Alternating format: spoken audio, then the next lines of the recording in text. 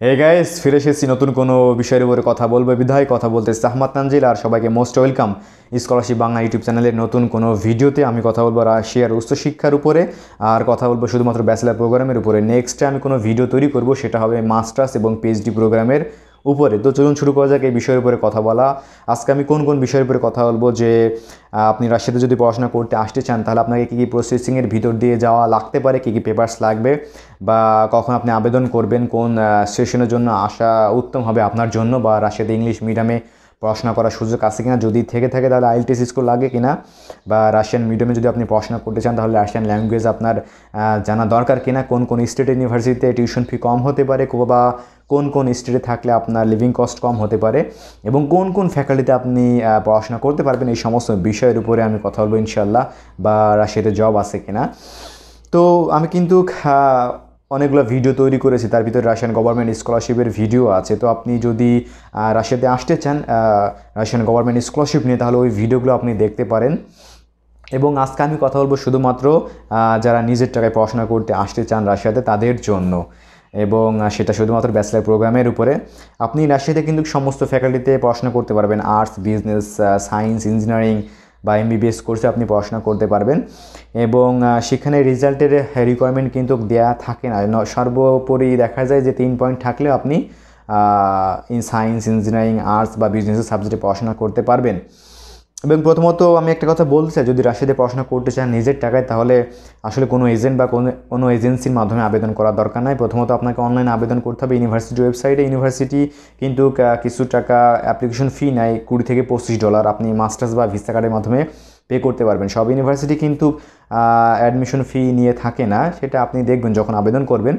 তারপরে তারা আপনাকে ইনভিটেশন লেটার পাঠাবে, পাঠানোর পর সমস্ত পেপার্স নিয়ে অ্যাম্বাসিতে জমা দেবেন, দেওয়ার পর অ্যাম্বাসি ভিসা দিয়ে দিবে দেওয়ার পর আপনি রাশিয়াতে চলে আসবেন। রাশিয়াতে যদি আসতে চান তাহলে আপনার উচিত হবে যে সেপ্টেম্বর সেশনের জন্য আসা ফেব্রুয়ারি সেশনের জন্য আসার দরকার নাই, কারণ ভিসা পাওয়ার পসিবিলিটি খুবই কম থাকে। সুতরাং আপনি যদি সেপ্টেম্বর সেশনের জন্য আসতে চান তাহলে আসতে পারেন এবং ভিসা পাওয়ার পসিবিলিটি খুব বেশি থাকবে আপনার জন্য। তারপরে রাশিয়াতে ইংলিশ মিডিয়ামে পড়াশোনা করার সুযোগ আছে কিনা? হ্যাঁ রাশিয়াতে ইংলিশ মিডিয়ামে পড়াশোনা করার সুযোগ আছে। যদি আপনি নিজের টাকায় পড়াশোনা করতে আসতে চান রাশিয়াতে, তাহলে আপনি ইংলিশ মিডিয়ামে পড়াশোনা করার সুযোগ পাবেন। কিন্তু স্কলারশিপ নিয়ে আসলে ইংলিশ মিডিয়ামে পড়াশোনা করার সুযোগ পাবেন না। এবং যদি আপনি ইংলিশ মিডিয়ামে পড়তে চান, তাহলে আপনাকে দেখতে হবে আপনি কোন বিশ্ববিদ্যালয়তে পড়াশোনা করতে চান এবং সেই বিশ্ববিদ্যালয়ের কোন কোন ফ্যাকাল্টিগুলো ইংলিশ মিডিয়ামে পড়ানো হয়। সব সব ইউনিভার্সিটি কিন্তু ইংলিশ মিডিয়ামে পড়াশোনা করায় না বা সব ফ্যাকাল্টি কিন্তু ইংলিশ মিডিয়ামে হয় না। সুতরাং সেটা আপনাকে দেখতে হবে। দেখার পরে আপনি আবেদন করবেন এবং আবেদন করার পর যখন আপনি রাশিয়াতে চলে আসবেন, তখন কিন্তু আপনাকে একটা টেস্ট নেবে। সেটার উপর ডিপেন্ড করবে আপনার পড়াশোনাটা। তো নর্মালি টেস্টটা ইজি হয়। সবাই পাস করে যায় বা পাস করতেছে, এই জন্য ওটা নিয়ে চিন্তা করার দরকারই নাই। আর্টসের সাবজেক্টও অনেক সময় ইঞ্জিনিয়ারিং আর্টস ইঞ্জিনিয়ারিং বিজনেস বা সায়েন্সের সাবজেক্ট কিন্তু ইংলিশ মিডিয়ামে হয়। সেক্ষেত্রে আমি বলতেছি যে আপনি ইউনিভার্সিটি ওয়েবসাইটে যাওয়ার পরে চেক করতে হবে আপনাকে যে এই ইউনিভার্সিটি কোন কোন ফ্যাকাল্টি বা কোন কোন ডিপার্টমেন্টকে ইংলিশ মিডিয়ামে পড়াশোনা করিয়ে থাকে।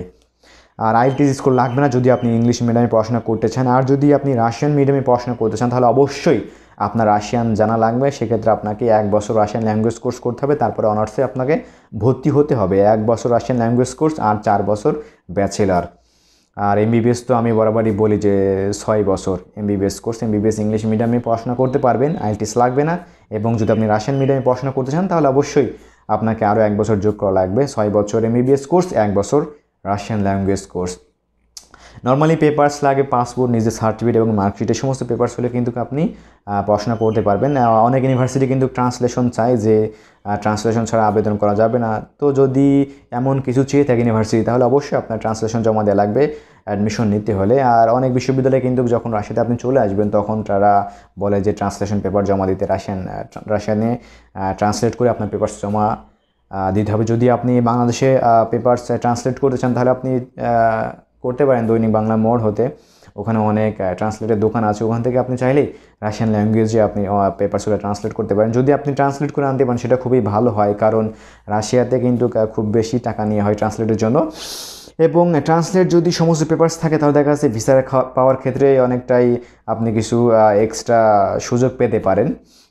তো আমি রিকমেন্ড করব যে পাসপোর্ট রেডি করবেন, তারপরে সার্টিফিকেট এবং মার্কশিটগুলোকে রাশিয়ান ভাষায় ট্রান্সলেট করবেন এবং যথারীতি আমি যেটা বলি যে শিক্ষা বোর্ড, শিক্ষা মন্ত্রণালয়, পররাষ্ট্র মন্ত্রণালয় বা সর্বশেষ রাশিয়ান অ্যাম্বাসিতে সত্যায়িত করে নেবেন। নেওয়ার পরে ভিসা আবেদন করবেন। আবেদনের ফি হতে পারে যে পঁচিশশো থেকে তিন হাজার টাকা ভিসা ফি আর কোনো ফি নাই। তারপর যখন আপনি রাশিয়াতে চলে আসবেন, তখন আপনার টিউশন ফি প্রতি বছর টিউশন ফি প্রতি বছর চাইলে দিতে পারেন এবং আপনি চাইলে প্রতি সেমিস্টারের ফি প্রতি সেমিস্টারে দিতে পারেন। সেটা নির্ভর করবে ইউনিভার্সিটির উপরে।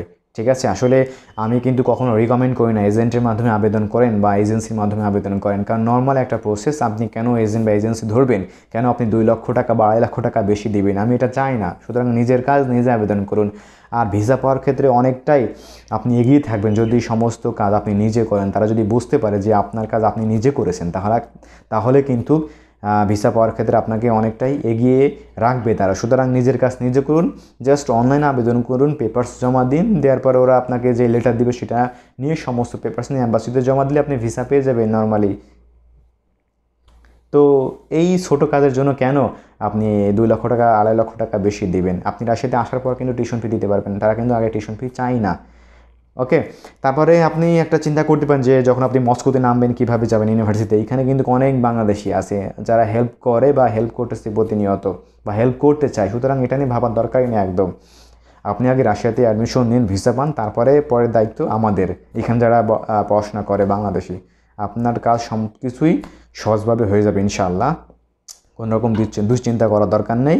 যদি এই কাজগুলো আপনি নিজে করতে পারেন, তাহলে আপনার দুই থেকে আড়াই লক্ষ টাকা বেঁচে যাবে। যেটা এজেন্সি নেবে বা যেটা এজেন্ট নেবে, ঠিক আছে? এবার আসি আমি ইউনিভার্সিটির টিউশন ফির উপরে। ইউনিভার্সিটি যদি আপনি পড়াশোনা করতে চান, বিদেশে কোনো বিশ্ববিদ্যালয়ে অবশ্যই টিউশন ফি একটা বড় ব্যাপার হয়ে যায়, কারণ আমাদের কিন্তু সবারই খুব বেশি টাকা নাই। তো যেই টাকা আছে যতটুকু টাকা আসে না কেন, আমি, আমরা চাই যে ওই টাকার ভিতরে আমরা চাই যে আমাদের এই স্বপ্নটা পূরণ করতে। তো মস্কো এক রাজধানী, আপনারা সবাই জানেন রাশিয়ার এবং সেন্ট পিটারবার্গ, ওটাও অনেক বড় একটা শহর এবং এই দুই শহরের বিশ্ববিদ্যালয়ে যদি আপনি পড়াশোনা করতে চান, অনেক বিশ্ববিদ্যালয় আছে। আপনি চাইলে সমস্ত ফ্যাকাল্টিতে খোঁজ নিয়ে দেখতে পারেন যে কোন কোন ফ্যাকাল্টিতে ইংলিশ মিডিয়ামে পড়াশোনা করানো হয় বা রাশিয়ান মিডিয়ামে পড়াশোনা করানো হয়। যদি আপনার এই দুইটা শহরে পড়াশোনা করার ইচ্ছা থাকে, তাহলে আপনি এই দুটো শহরে ইউনিভার্সিটিতে সার্চ করতে পারেন গুগলে অনেক ইনফরমেশন পেয়ে যাবেন ওদের ওয়েবসাইটে টিউশন ফির উপরে। তো নর্মালি অ্যাভারেজ যদি আমি বলি যে আপনি ছয় হাজার থেকে সাত হাজার ডলারের ভিতরে আপনি টিউশন ফি কাভার করতে পারবেন। এক বছর পার ইয়ার ছয় হাজার থেকে সাত হাজার ডলার। আপনি এটা বাংলাদেশি টাকায় কনভার্ট করে নেবেন, কত টাকা আসে। এই টাকা দিয়ে আপনি এই সমস্ত বিশ্ববিদ্যালয়তে টিউশন ফি কাভার করতে পারবেন এক বছরের জন্য। তাহলে চার বছরে কত টাকা হবে বা এমবিবিএস কোর্স ছয় বছরের জন্য কত টাকা হবে, এটা আপনি বুঝতেই পারবেন।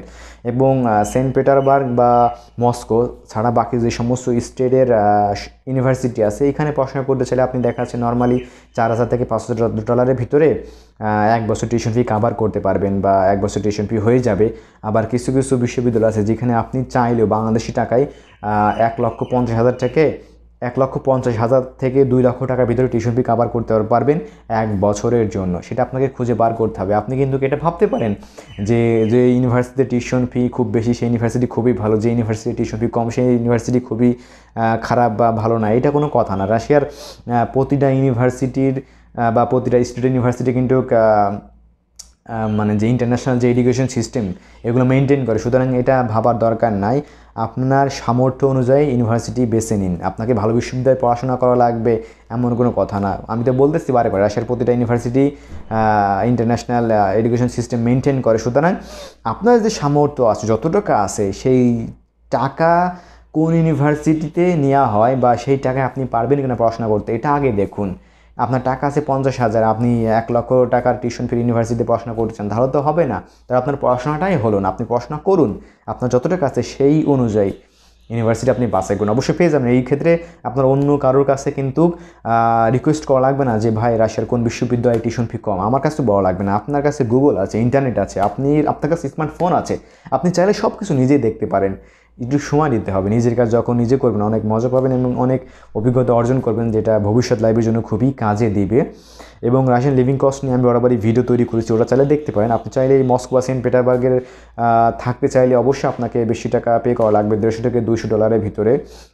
লিভিং কস্ট সেখানে আপনার সমস্ত কস্ট চলে আসবে, যেরকম থাকা খরচ, খাওয়া খরচ বা ট্রান্সপোর্ট কস্ট বা ফোন কস্ট সব কিছুই দেড়শো থেকে আড়াইশো ডলারের ভিতরে আপনি কাভার করতে পারবেন। মস্কো বা সেন্ট পিটারবার্গের মতো শহরে ইউনিভার্সিটি যদি আপনি পড়াশোনা করতে চান। আর যদি মস্কো বা সেন্ট পিটারবার্গের বাইরে ইউনিভার্সিটিতে পড়াশোনা করতে চান স্টেটের যে সমস্ত স্টেট আছে, যেরকম আমার শহর, কাজান বা সামারা আছে সসি আছে এভাবে অনেক স্টেট আছে বা তোলা স্টেট যেটা আমি বলতে চাই নবসিভিরিক্স এরকম আছে বা টমাস স্টেট ইউনিভার্সিটি আছে। এই সমস্ত ইউনিভার্সিটি বা এই সমস্ত স্টেট ইউনিভার্সিটি পড়াশোনা করতে চাইলে আপনি দেখা যাচ্ছে বাংলাদেশি টাকায় পাঁচ থেকে ছয় লক্ষ টাকার ভিতরে টিউশন কভার করতে পারবেন। আর ডলারে যদি আমি বলি, তাহলে দেখা যাচ্ছে সর্বোপরি তিন হাজার থেকে পাঁচ হাজার ডলারের ভিতরে আপনি টিউশন ফি কভার করতে পারবেন এক বছরের জন্য। তো যদি আপনার মনে হয় যে এটা আপনি পারবেন, তাহলে অবশ্যই রাশিয়াতে মোস্ট ওয়েলকাম। এবং যদি আমাদের মনে হয় যে আপনি পার্ট টাইম জব করে টিউশন ফি দিতে পারবেন কিনা, তাহলে আমার উত্তর হবে না। পার্ট টাইম জব করে রাশিয়াতে টিউশন ফি কভার করতে পারবেন না। পার্ট টাইম জবই পাবেন না এবং আপনি নিজের একশো ডলারই ম্যানেজ করতে পারবেন না পার্ট টাইম জব করে। সুতরাং এই চিন্তা কখনো করবেন না যে রাশিয়াতে জব করে আমি টিউশন ফি দিব, এটা বোকামি হবে। যদি কেউ এই কথা বলে থাকে, তাহলে ভুল বলেছে, এটা সঠিক কথা নয়। রাশিয়াতে কোনো জব নাই, কোনো পার্ট টাইম জব নাই।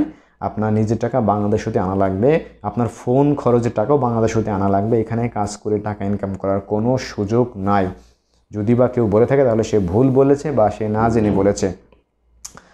আর মনে হয় না আমার এই বিষয়ের উপরে আর কিছু বলার আছে, কারণ ভিডিওটি অলরেডি অনেক বড় হয়ে গেছে।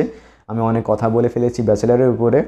এবং আরেকটা কথা আমি লাস্ট অফ অল বলতে চাই যে আপনি যে ব্যাকগ্রাউন্ড হতে আসুন না কেন, যদি আপনি আর্টস ব্যাকগ্রাউন্ড হন তাহলে অবশ্যই কমার্সের সাবজেক্টে পড়াশোনা করতে পারবেন বিজনেস সাবজেক্টে বা সায়েন্সের সাবজেক্টে বা ইঞ্জিনিয়ারিং সাবজেক্টে পড়াশোনা করতে পারবেন। আপনার এসএসসি বা এইচএসসি কোন ব্যাকগ্রাউন্ড হতে পড়াশোনা করেছেন আপনি, এটা বড় ব্যাপার না। বড় ব্যাপার হচ্ছে আপনি কোন ডিপার্টমেন্টে পড়তে চান, যদি আপনি পারেন তাহলে আপনি পড়তে পারেন। এখানে ইঞ্জিনিয়ারিংয়ের জন্য আপনার ব্যাকগ্রাউন্ড সায়েন্স থাকা লাগবে, এরকম কোনো নিয়ম নাই।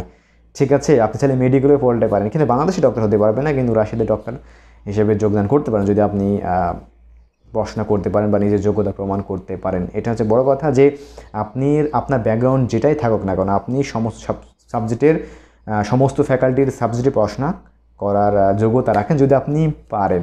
ওকে তো সবারই ভালোবাসা এবং দোয়া রেখে আমি ভিডিওটি শেষ করতেছি। গুড লাক অ্যান্ড ফিরবো নতুন কোনো স্কলারশিপের উপরে কথা বলার জন্য। সেটা হচ্ছে জাপান এটার উপরে আমি কথা বলব ইনশাল্লাহ আল্লাহ হাফিজ।